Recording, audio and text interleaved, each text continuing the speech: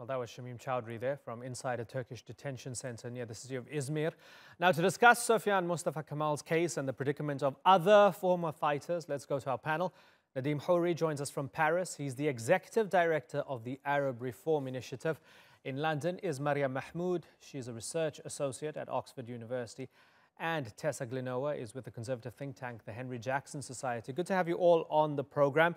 Nadim, we look at this guy, Sufean, who's Abu Hamza's son. He says, Yes, I was a fighter. Yes, I might have killed people, but I was a moderate rebel. I wasn't Daesh.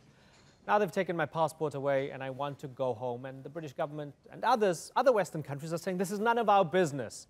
We don't want to deal with these people anymore. Is this just one case like so many others where governments just don't really want to deal with the headache, so they're just stripping people of their passports? Yes, unfortunately, and this is an increasing recent trend in Western countries, withdrawing citizenship uh, in many cases before even convicting someone in a criminal trial. Now, this raises a number of uh, international law issues, particularly human rights issues, because you cannot render someone stateless and you cannot take away someone's citizenship without due process, the right for them to, uh, you know, to question these decisions. But it also raises all sorts of policy issues. If all countries start withdrawing citizenship of those who are unwanted, where will they be? Is that the best collective security solution? Or are they going to create a group of stateless people, you know, roaming somewhere between the Middle East and Europe? And I think this is also a big criticism of this policy because it doesn't resolve anything it just transposes the issue mm-hmm. at a time, and it's transposing it to the weakest partners. You know, it could be uh, people holding them in detention in the Middle East, in northeast Syria, in Iraq, uh, people who have a lot less resources than Western countries. And frankly, people who inherited this problem, they are not the ones who contribute to the radicalization of these individuals. Uh, so it really should be the British authorities who prosecute, uh, like the other European countries, prosecute their nationals. Mm-hmm who may have committed or joined ISIS or other uh, unwanted groups. Right. Tessa, is this a case of these governments just wanting to wish away the problem? No, I don't think it's a case of governments wanting to wish away the problem. I think regarding the issue of statelessness, um, the international community should pump more money into the local justice systems in Syria and perhaps even Iraq. And they should pump more money into organizations like the SE C, uh, SCEC, which are trying to de-radicalize. They have de-radicalization program, uh, programs trying to de-radicalize former fighters and fighters that have shown an interest in wanting to heal. Um, it's very difficult, certainly from the UK's perspective, to, from a moral perspective, from a legal perspective, to take back former fighters, especially if they show no remorse or no guilt mm-hmm. over the killings, over the atrocities, the hundreds of thousands of people killed right. as a direct result of ISIS Although, actions. Yeah, Tessa, why, would you? So, sorry to interrupt you. So, sorry to interrupt you. Yes, and I, there yeah, I understand are. there's a slight delay. Sorry to interrupt you. Right? Why would you want to give money to Bashar al-Assad's government to tell them, hey, we want to give you money to boost your legal system when fundamentally at the heart of this war, he is a key part of the problem?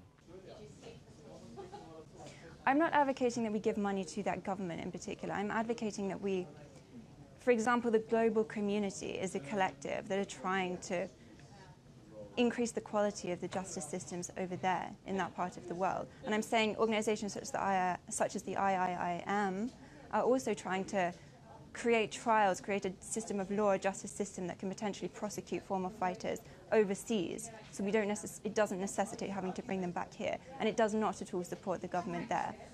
Okay. Only so, if those okay. justice systems all right. Okay. So let's get let's get let, us get Maryyum Mehmood to, be to look at this. undertaken in okay. Syria, that we would have to support okay. the government. So let's let me add to Syria. Let me add Iraq as an interesting and perhaps more accurate example here. So the Iraqis have had their own trials of Iraqi citizens and foreigners. Mm. And for the Iraqis, Maryyum, when we look at it, it's not only victors' justice, but it's also former victims' justice because the Iraqis bore the brunt of Daesh's atrocities. Human rights groups criticize the Iraqis for unfair trials. In Iraq, they say that people are being sentenced to death, life imprisonment, and so on for mere association with Daesh or ISIS. So with that in mind, do you have any trust that the legal systems in that part of the world, as was mentioned by Tessa, can actually bring about justice so that these people don't have to be repatriated to Western countries? That's a very interesting question, and I'd just like to follow up on the points made by my fellow panelists with regards to this. Um, uh, I think one thing it strikes me as quite amusing is that we have Western governments who are very happy to intervene in these situations, boots on ground. But when it comes to the aftermath, nobody wants to pitch in and clean up a mess that is actually something that developed in our own home turf. So, with regard to the case of Shamima Begum, may I remind you at this point, though, 400 out of the 900 people who went to fight for ISIS from Britain have returned. Now, the issue of citizenship being removed only came into uh, question or was um, brought up in this media spectacle following Shamima Begum's case. Now, Home Secretary at the time was Sajid Javid, and he claimed that, you know, we wouldn't be doing anything illegal if we were to remove her citizenship, which we ended up doing, because she could avail of Bengali citizenship through her parents. Now, this was immediately thwarted by Bengali government officials, considering right. the fact that, you know, this is quite a, a dubious thing because, you know, Today we have terrorism as the reason for revocation or removal of citizenship. Tomorrow, what could it be? Okay. It's very but, selectively okay, applied. But let's, let's Secondly, with regard the, to the court, let, us focus on the today, right? Just yes. for a second, because you say that tomorrow sure. there might be a slippery slope. The Indonesians, for example, yes. can verifiably prove that returnees from Daesh land, whether in Syria or in Iraq, mm -hmm. in the former Daesh caliphate, have conducted acts of mm-hmm. terror in Indonesia over the past mm -hmm. two years, starting in 2017. Mm -hmm. That's an example of the fears that these governments have. These people come back and they're going to do terrible stuff in our lands. Address right. that for me. Yeah, rightfully, they are afraid, obviously, you know. But the point is, I must stress that these individuals who've gone from their respective countries, in the case of Britain, should see the due process of law and justice in this country. They left from here. Um, obviously, what's very, very um, strange and striking is the fact that only one in 10 individuals who have returned have been prosecuted. What we should be doing instead of having this conversation is talking about right and retribution and justice and also rehabilitation of individuals. They are a British problem, as the Bengali authorities have said. They should be tried under British rule because, you know, these individuals, they can try and make their way back into the country, um, right. whether it's okay. legal or illegal. Okay, so the point me... is, we need to ensure right. that this doesn't happen again, and unfortunately, okay. it continues to happen. I want to ask Tessa, do you believe that it's the responsibility of the countries from which these people traveled or emerged or are citizens of to rehabilitate them and absorb them, reabsorb them into society? I just want to say, first of all, that amassing evidence from a foreign conflict zone is very difficult. And I also want to add that in UK courts, uh, the evidentiary requirements are the standard is incredibly high. And so, you know, as it stands, only 10% of the former fighters that have come back who've been on trial have been prosecuted. And where do the other 90% go? They're free to walk, potentially free to walk our streets, um, irrespective even of the, T, right. uh, the TPIM measures. Um, on the basis of rehabilitation as well, there is very mixed evidence citing, and there's very little evidence to compare recent findings against that prove that rehabilitation works, especially in the likelihood of recidivism, which means the likelihood of a, a convicted criminal to, to reoffend.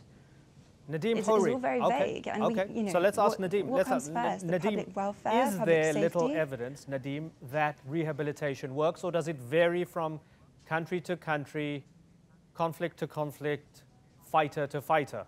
Yeah, the, you know, the evidence uh, varies greatly. Um, and again, what is your definition of success? Different countries have different definitions of success. Uh, in some countries, de-radicalization means just getting rid of someone's uh, violence and inclination to violence, even if they maintain ideas that you know most of us would find abhorrent. In other countries, they almost want to change someone's ideas, and there are a lot of issues around that. But I also think we need to distinguish between two things here. I don't think anyone is denying the need to prosecute these people. But what is essential is provide them with fair trials and let there be evidence. For the last few years, most countries have been adopting law after law to prosecute terrorism offenses. It would be unfair and doesn't make sense to say today, well, the UK doesn't have sufficient laws to prosecute these people. If they don't, uh, why haven't they changed them in the last few years? And we know that most countries have already changed. Uh, and if they're not bothering to collect the evidence, then let them invest more in collecting the evidence. Right. You can't say, well, we're not sure what you've done, but we think you're bad enough, so we just don't want you to back. Then I think there's a second issue, which is very important, which is the withdrawal of, of citizenship uh, in this case uh, that we're discussing. Because that is, for me, a way of relinquishing responsibility it's almost assuming, I mean, there are really two, two arguments here, saying, well, you know, it's not Britain's problem. It's whoever that second country's problem is going to be. And why should that be? Why should it be Bangladesh's problem in Shamima Begum's case? You know, the, a woman who's never actually set foot in, in Bangladesh. You know, you, you can already see the sort of form of, you know, the West saying, well, I'd rather protect my society. I don't care what happens to Bangladesh, and Bangladesh has to take them back. Or if we go full and say, well, this person will be rendered stateless. They're going to be stuck forever in Syria or Iraq or maybe Turkey, uh, you know, whichever other country. Right. Then it's going to be your country, your responsibility to deal with that. And again, why should that be? I mean, the only assumption is a sort of very cynical position by the UK and other countries that they're saying, well, maybe let Iraq prosecute everyone, let it, let it, let Iraq sentence them to death. We'll turn our eyes away, mm-hmm. and maybe the problem will be resolved. But we know that doesn't actually resolve problem. And frankly, that doesn't give justice to victims either. So yes for prosecutions, no for dereliction of responsibility, yes for more investment and resources. And let's see, I mean, there have been a lot of people who've returned from Syria and Iraq, and many have been de-radicalized. But it's mostly politicians are afraid, and I can completely understand. Politicians have a right. responsibility to protect their society but you cannot protect your society by quote unquote dumping the problem mm-hmm. on another country.